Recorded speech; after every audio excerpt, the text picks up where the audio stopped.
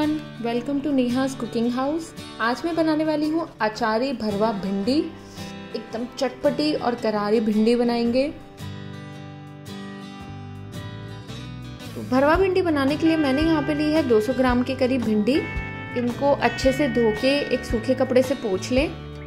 और अचारी मसाले बनाने के लिए एक अलग कटोरी में डालें थोड़ा सा ज़ीरे का पाउडर, धनिया पाउडर, लाल मिर्च पाउडर हल्दी, आमचूर पाउडर और नमक। और अब इन सारे मसालों को अच्छे से मिक्स कर लें। और भिंडी काटने के लिए सबसे पहले भिंडी का ऊपर का और नीचे का हिस्सा काट के अलग रख दें। उसके बाद भिंडी को बीच से स्लिट करेंगे। पूरा अलग नहीं करेंगे।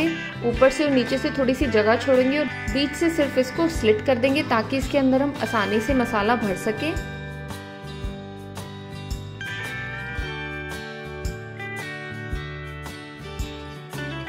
सारी भिंडियों को ऐसे ही काट लें। ये भिंडी मैंने काट ली है। अब भिंडी के अंदर मसाला भर दें। इस तरीके से।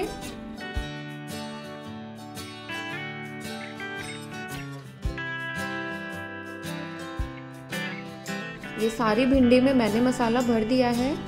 और ये जो बचा हुआ मसाला है, इसको भी हम सब्ज़ी में यूज़ करेंगे। अब एक पैन गरम कर लें और उसमें डालें थोड़ा सा सरसों का तेल। तेल गरम होने के बाद इसमें डालें कलौजी।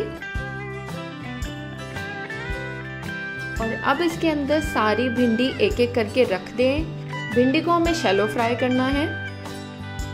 और थोड़े थोड़े टाइम में भिंडी को पलटते रहें और जो हमारे पास बचा हुआ मसाला है, जब भिंडी आधी पक जाएगी, तब उस मसाले को ऐड करेंगे।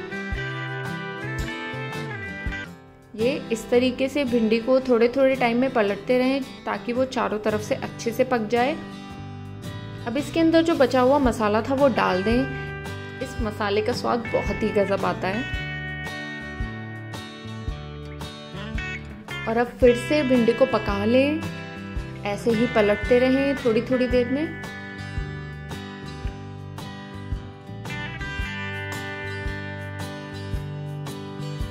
ये भिंडी अब तैयार हो गई है थोड़ी सी क्रिस्पी भी हो गई है। अब गैस बंद कर दें और भिंडी को कर ले सर्व। और आप इसको एंजॉय करें पराठे के साथ, राइस के साथ। और मुझे बताएँ आपको कैसी लगी अचारी भरवा भिंडी की रेसिपी और अगर आपको ये रेसिपी अच्छी लगी तो प्लीज़ मेरे वीडियो को लाइक करें और मेरे चैनल को सब्सक्राइब करना ना भूलें। Thank you for watching